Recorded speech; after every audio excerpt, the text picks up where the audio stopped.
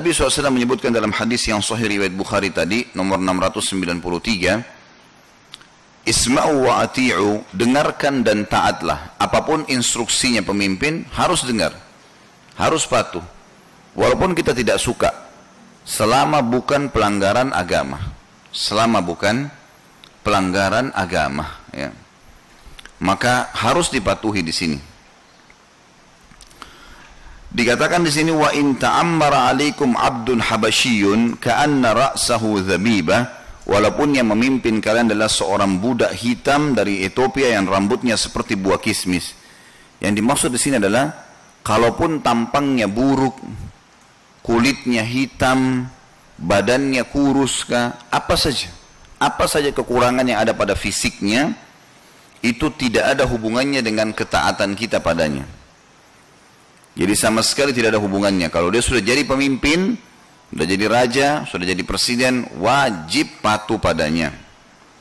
Bahkan siapa pun yang menghina pemimpinnya, baik itu menghina secara fisik, menghina secara karakter, maka dalam hadis yang dihasankan oleh para ulama berbunyi kata Nabi SAW, siapa yang menghina pemimpinnya maka Allah akan menghinanya. Siapa yang menghina pemimpinnya, maka Allah akan menghinanya. Teman-teman sekalian, jangan pernah berpikir mudah untuk jadi pemimpin. Sulit sekali. Bukankah seseorang di antara kita laki-laki di sini yang hadir sudah kerepotan pada saat harus mengurus istri dan anaknya? Bukankah seorang akhwat ibu kita di sini atau umat kita yang hadir sudah kerepotan untuk mengurus suami dan anak-anaknya? Baru satu, dua orang, lima orang kita urus sudah repotnya luar biasa. Kadang-kadang kita jengkel, kadang-kadang kita senang, kadang-kadang kita bisa penuhi kebutuhan, kadang-kadang kita nggak bisa penuhi. Bagaimana dengan seorang pemimpin wilayah? Lingkup misalnya Indonesia, 200 juta lebih jiwa yang harus diurus. Itu bukan hal yang gampang. Mungkin kalau seseorang di antara kita sulit akan, mungkin sudah sulit dia tidur. Kadang-kadang kita punya masalah sama seseorang saja, udah sulit kita tidur. Memikirkan masalah itu. Seakan-akan sebuah masalah yang sudah sangat berat, kayak sudah tidak pernah, tidak bisa lagi menemukan jalan keluarnya. Bagaimana kalau orang memikirkan permasalahan umat yang begitu besar?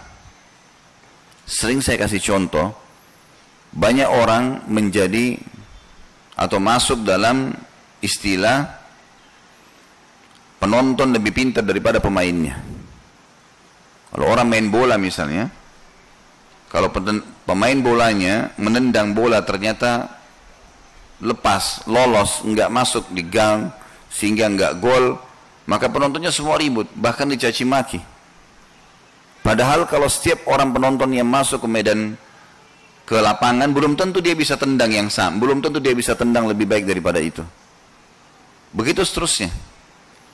Terlalu banyak orang selalu memprotes tentang masalah kedudukan seseorang, masalah penampilan seseorang, masalah retorika pembicaraan seseorang, masalah keputusan seseorang. Padahal dia sendiri kalau di posisi orang itu, mungkin dia akan kerepotan. Dia sendiri kesulitan. Hati-hati teman-teman sekalian, jangan pernah buat musuh. Ya musuh itu jadi masalah buat kita pada hari kiamat. Selalu sibuk dengan membicarakan rumah tangganya orang, selalu sibuk membicarakan tentang lembaganya orang, selalu sibuk membicarakan tentang majelis taklimnya orang, selalu sibuk dengan membicarakan si fulan dan si fulan. Apa manfaatnya buat kita semua ini? Gak ada manfaatnya, apalagi kalau tidak sampai tidak sampai apa yang sedang kita ingin sampaikan dari aspirasi kita. Seseorang yang boleh menasihatin seorang pemimpin atau seorang yang punya kedudukan maka harus yang suaranya bisa sampai. Kalau setiap orang di pinggir jalan, di tempat-tempat warung kopi, di pinggir-pinggir jalanan, di pinggir got berbicara masalah politik, ini bukan ahlinya. Atau mungkin di majelis taklim, atau mungkin di mana-mana, nggak pantas orang bicara masalah itu, karena bukan ahlinya. Bukankah Nabi SAW sudah mengatakan, kalau perkara dikembalikan kepada bukan ahlinya, maka tunggulah kehancuran? Lebih jauh lagi daripada itu, kadang-kadang kita cuma sekedar menerima gosip, informasi yang belum tentu kepastian dan Allah suruh tabayun. Tanya, kalau suara kita bisa sampai, kenapa Bapak mengambil keputusan ini? Kalau suara kita bisa sampai. Mungkin dia punya pikiran yang kita tidak pikir. Saya kadang-kadang melihat istri saya mengambil sebuah keputusan, saya pernah dulu langsung menegur, kenapa harus seperti ini? Ternyata pada saat dia sudah jelaskan apa sebabnya dia melakukan, saya merasa diri saya yang keliru. Memang betul itu langkahnya. Jadi ternyata menanyakan kenapa orang itu melakukan, maka dia akan punya jawaban nanti dan tahu. Apalagi kalau kita mau lebih adil, lebih bijaksana, kita posisikan diri kita ke posisi orang itu. Baru kita bisa. Hati-hati teman-teman sekalian, pemimpin tidak mudah kita untuk datang ke rumahnya, pamit, minta maaf. Enggak gampang itu.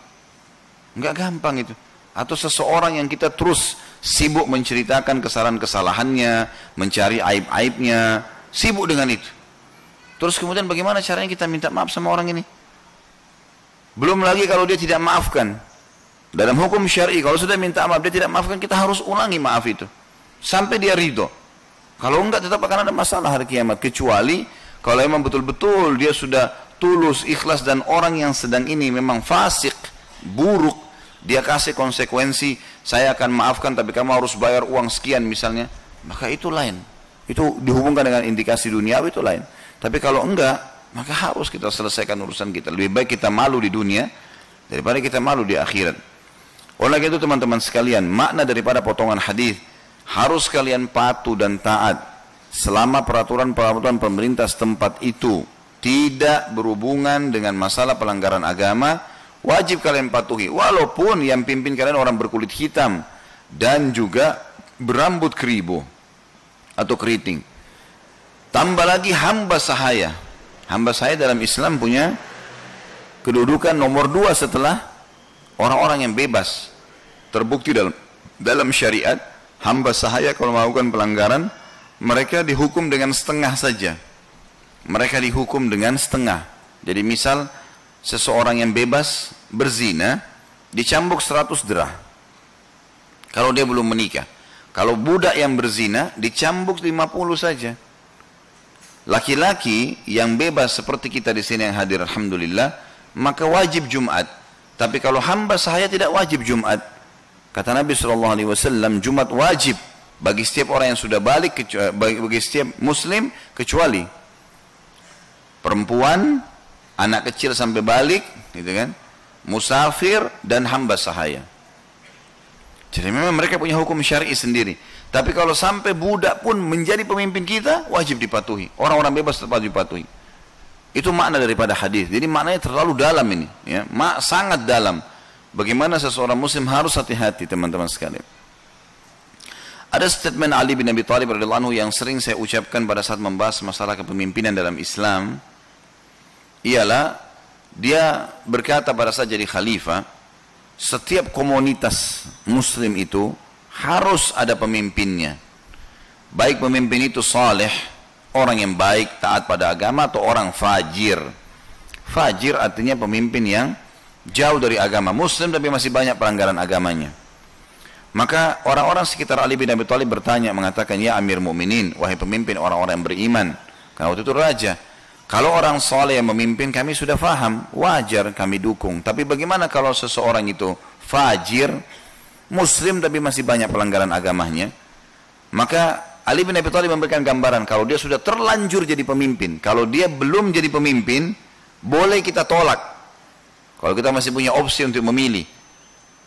Kayak di Indonesia ada pilkada, ada pilpres, ada ini kalau masih bisa opsi memilih kita memilih. Tapi kalau sudah jadi hukumnya berbeda. Kalau sudah jadi tidak bisa. Maka Ali bin Abi Thalib mengatakan kalau si fajir orang yang muslim tapi masih banyak pelanggaran agama sudah terlanjur jadi pemimpin, maka jelas jalan-jalan akan tetap aman.